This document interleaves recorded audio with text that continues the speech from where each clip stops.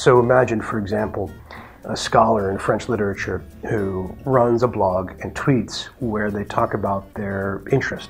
They're working 19th century French fiction, and so they they read a book, a scholarly book, and they review it as a blog post. They come with a beautiful quote from Mallarmé and they tweet it and so on. So they build a reputation through social media for their current interest in the project, and this eventually helps grow into their book. So they may publish an outline, uh, they may publish a book proposal on their blog, they'll get feedback. They'll be able to kind of think out loud about this. So that over time, they've really built a kind of, if you will, a nimbus of social around their scholarly impetus. And then when they publish, say, a journal article, it may be that it appears behind uh, closed doors through Elsevier and JSTOR. It may be that it appears in an open access journal issue.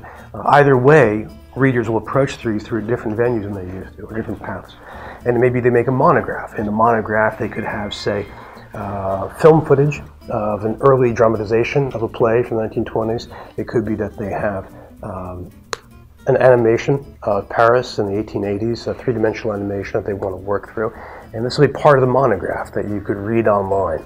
So, I mean, overall, you'll have something something new. Each of these has a special promise.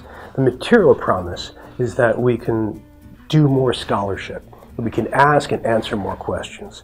So in the case, the hypothetical case I just mentioned, imagine a 19th century Paris visualization, a three-dimensional model where we could query the model and pull up data about settlement, about where people live, about sewage, about the rollout of streets over time. And then the promise, and maybe learn more than we once knew. And the promise of the communication, well, in part is greater efficiency but also greater conversation, you know, through open access, a larger audience, but also through connecting it to social media, a wider audience as well. So overall, taken together, in a sense, this is revolutionary. We're really taking scholarly publication and transforming it into something new. Looked at another way, this is what the digital world is like. This is something that's not really that remarkable. Nothing that I've described is futuristic. It's simply a case of just implementing and doing it.